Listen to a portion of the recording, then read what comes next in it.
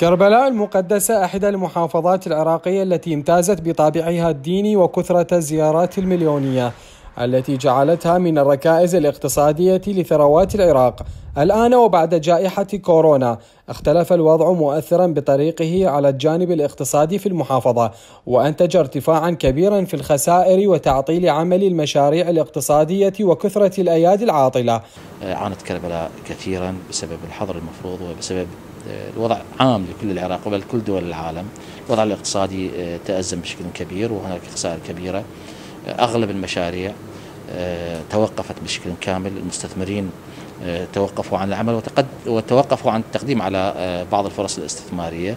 بالإضافة إلى مشاريع تنمية الأقاليم والمشاريع الوزارية أيضا توقفت بسبب الأزمة المالية. الحقيقة هو أكيد هناك أزمة اقتصادية صار بالبلد. وانقطاع الناس من التوافد إلى مدينة كربلاء من داخل العراق ومن خارج العراق أثر بشكل اقتصادي.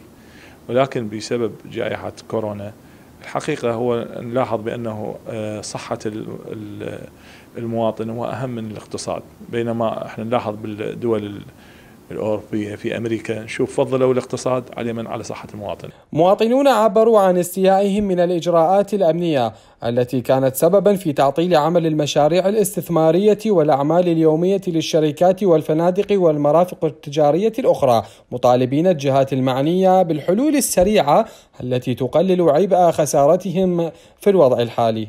حقيقة وباء كورونا أثر تأثير مباشر على اقتصاد محافظة كربلاء المقدسة مما أدى إلى خسائر مالية باهظة الثمن وخاصة في قطاع السياحة القطاع المتأثر الأول من خلال هذا المرض اللعين.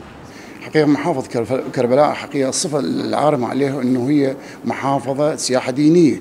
وتكون يعني مستقطبة للأيدي العاملة وإضافة للاستثمارات لكن يأسفني كل الأسف خاصة في بعد يعني ظهور جائحة كورونا.